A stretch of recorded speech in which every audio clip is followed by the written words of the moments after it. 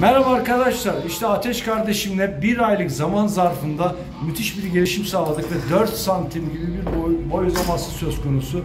Gördüğünüz gibi arkadaşlar bıkmadan, usanmadan 25-30 tekrar şeklinde askı egzersizlerini uyguluyoruz. Disiplinli bir şekilde. Disiplinli bir şekilde ne demek arkadaşlar? Avuç işlerimiz acıyıncaya, patlayıncaya kadar, kaslarımız yoruluncaya kadar çalışmamız gerekiyor.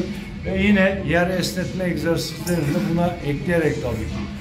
İşte sizler de arkadaşlar evinizde disiplinli olarak çalışmalısınız ki normal süreçte gelişme çağında boyunuz 4 santim 5 santim uzayacaksa bu oranlar 4 katına 5 katına çıkıyor. İşte görmüş olduğunuz gibi avuç işleri şu an patlamış kızarmış durumda. Sizler de avuç işleriniz tabii ki acıyacak arkadaşlar. Hiçbir şey kolay değil ve bu acı bizim gelişim noktamızdır. Bunu kesinlikle ve kesinlikle unutmayın. O askıda kalırken düşünceye kadar avuçlarınız terleyecek, kayacaksınız.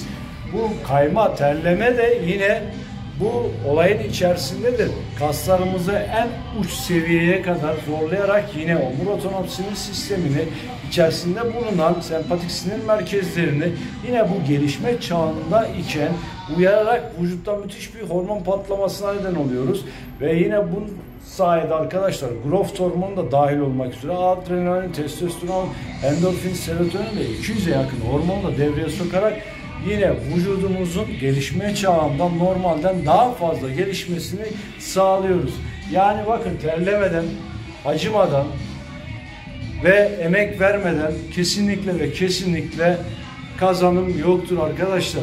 Mutlaka ama mutlaka çalışmalıyız ki sonuçlarını alabilelim. Gelişme çağındaki gençlere özellikle 12, 13, 14, 15, 16 yaşlar ve tam vücudun en iyi hormon salgıladığı yaş gruplardır. 17-18'lerde de yine vücuttaki hormon dengeleri, o salınımlar devam ediyor. Fakat 17-18 yaşlarında kıyma plaklarının kapanmaya yaklaşmasından dolayı çok daha zorlu, çok daha sıkı antrenmanlar yapmamız gerekiyor. 25-30 tekrar yerine bu tekrar sayılara 50-60'lara varabilecek şekilde ve yine yoruluncaya ellerimiz, avuçlarımız patlayıncaya kadar askıda kalarak sonuca gidiyoruz arkadaşlar.